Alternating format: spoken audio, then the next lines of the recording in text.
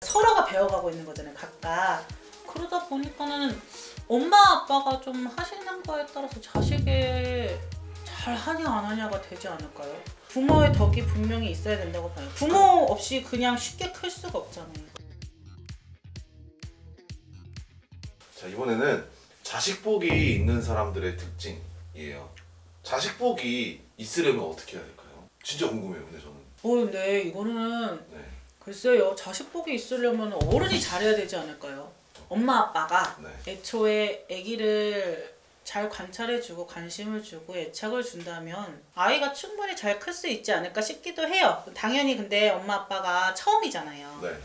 분명히 실수되는 부분들도 있고 네. 잘못하는 부분들도 있고 어려운 부분들도 분명히 있을 거예요. 그렇지만은 그래도 아기도 어떻게 보면 자기가 눈 태어나서의 부모로서의 보호를 받으면서 크고 있는 거 배워가는 거죠. 그러니까 서로가 배워가고 있는 거잖아요. 각각.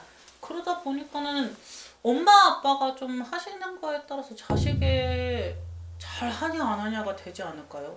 어 그쵸. 근데 자식복이라는 것과 솔직히 말려놓이라는 것과 굉장히 연관성이 있다고 생각을 하거든요. 저는. 음, 그거는 뭐 좀 다른 것 같아요. 이게 이게 저희 무당의 일, 뭐 그걸로서의 뭔가 풀어갈 수 있다던가 뭐 이런 걸로 표현하기가 저는 아직 어려서 그런지 네. 잘 모르겠는데 네. 그냥 제가 봤을 때는 그렇게 느껴져요. 어, 왜냐면은 사람들이 궁금해할 거예요. 자식복이 있는 사람들의 특징이 있을까?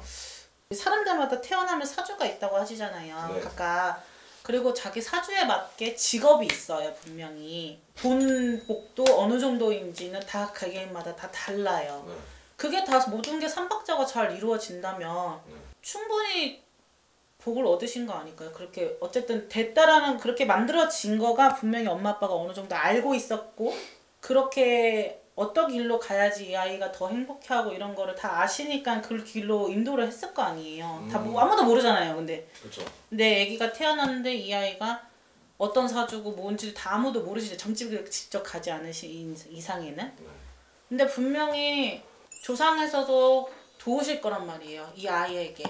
그래서 그 아이든 뭐 엄마든 이런 아이가 가는 길에 있어서 이 아이한테 잘 맞는 거, 이 아이 사주에 잘 맞는 거, 뭐 연예인의 기운 기운을 갖고 있다라고 하면은 연예인 쪽으로라든지 이런 음, 음악이나 예체능 쪽으로 풀어가야 되는 아이다라고 하면 그쪽으로 이제 만약에 가서 거기에 자기 사주에 뭐 돈이 있는 아이다.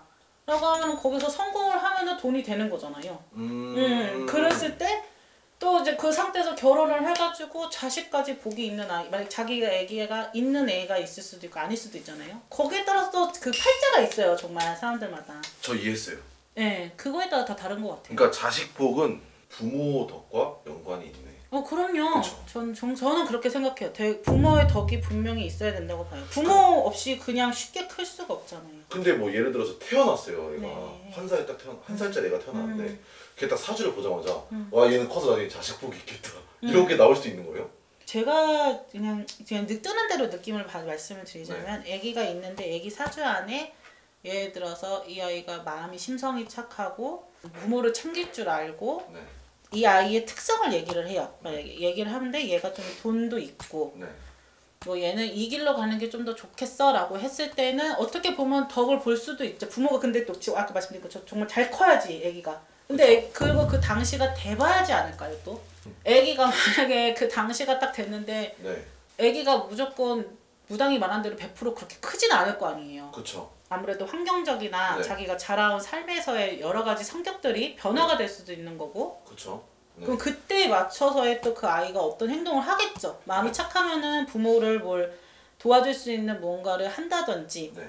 그리고 안 착, 착하다고 해서 또 안 하는 애들도 있을 수 있어요. 그때마다 때때마다 다르기 때문에 음, 음. 오케이 오케이. 그러지 않을까 싶어요 저는. 그렇기 때문에 이거는 솔직히 와봐야 아는 거네요. 그죠 그죠 그때 때마다 어떤 어떤지 자식이 어떤지 직접 와서 상담을 받아야 알 수 있는 아, 그쵸. 부분인 것 같습니다. 알겠습니다.